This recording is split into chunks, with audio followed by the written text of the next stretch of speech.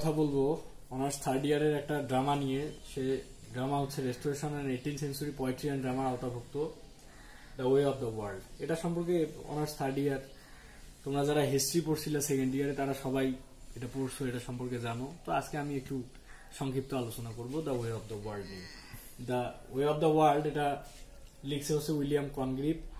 তো রেস্টোরেশন এজের প্রসিদ্ধ একজন রাইটার হচ্ছে উইলিয়াম উইলিয়াম কনগ্রিপ, যাকে বলা হয় founder of the comedy of manners তো কমেডি অফ ম্যানারের জনক হচ্ছে উইলিয়াম কনগ্রিপ তো কমেডি অফ ম্যানারটা আসলে কি? যে কমেডির মধ্য দিয়ে আপার ক্লাস সোসাইটি যে মানুষগুলো আছে, সেই মানুষগুলো যে স্বাভাবিক আচরণ, অস্বাভাবিক আচরণ, বা তাদের মানে রেস্টোরেশন পিরিয়ড হচ্ছে নৈতিক অবক্ষয়ের যুগ। তো মানুষের আচার আচরণগত দিক থেকে নৈতিক অবক্ষয়টা বোঝা যায় যে কি পরিমাণ নৈতিক অবক্ষয় হলে মানুষের আচার ব্যবহারের কেমন পরিবর্তন হয়। তো এগুলো নিয়ে মোটামুটি কমেডি অফ ম্যানার কথা বলবে। তো রেস্টোরেশন এজের মানুষের জীবনধারা, জীবন পদ্ধতি আমরা এই গল্পের মধ্যে দেখব এবং তাদের যে বিহেভিয়ারগুলো আছে সেগুলো আমরা দেখব। তো এখানকার মেজর যে ক্যারেক্টারগুলো আছে এই গল্পের সেই ক্যারেক্টারগুলোর মধ্যে লেডি উইসফোর্ড মোটামুটি পঞ্চান্ন বছর বয়সী একজন বৃদ্ধ মহিলা, যে এখনও সাজসজ্জায় অনেক সময় ব্যয় করে এবং সে এখনও প্রেম করতে উৎসুক।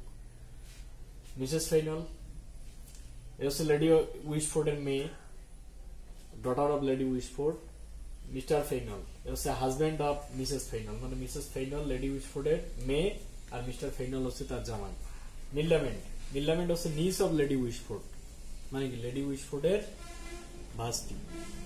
মিরাবেল এবং এই মিল্লামেন্ট হচ্ছে এই গল্পের নায়িকা এবং সেই হচ্ছে একমাত্র ইন্ডিপেন্ডেন্ট ক্যারেক্টার এই গল্পের মধ্যে যে একটা ভালো রোল প্লে করে।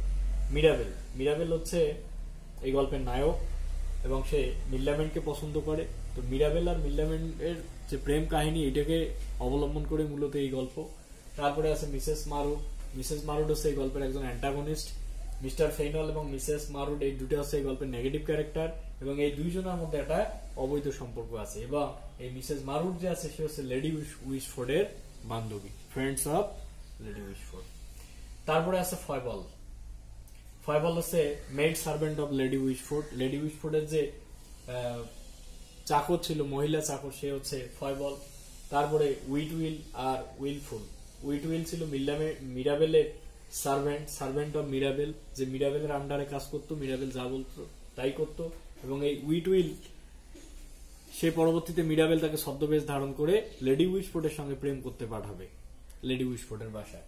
যাই হোক, এদিকে আমরা দেখব উইলফুল উইটুট এরা হচ্ছে দুই ভাই। উইলফুল উইটুট এরা দুই ভাই। এই দুই ভাইয়ের মধ্যে উইলফুল বড় উইটুট ছোট, এরা হচ্ছে লেডি উইসফোর্ডের ভাতিজা। তো লেডি উইসফোর্ডের ভাতিজা হওয়ার সত্ত্বেও এখানে যে আমাদের উইলফুল আছে উইলফুল এরা হচ্ছে ভারের ক্যারেক্টার দ্যাট মিনস এরা কমেডি জোকস এই টাইপের যে বিষয় বা রিডারদের রিডারদেরকে আনন্দ দেওয়ার জন্য কিছু ক্যারেক্টার ব্যবহার করা থাকে, সেই ক্যারেক্টারগুলোর মধ্যে হচ্ছে এরা উইলফুল আর উইটুড তো উইটুড মিল্লাম্যানকে পছন্দ করতো এবং তাকে বিয়ে করতে চাইতো সে।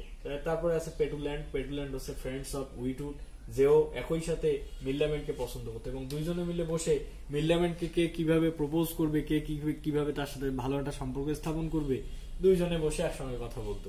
অথচ দুইজনেই মিল্লামেন্টকে তারা পছন্দ করতো।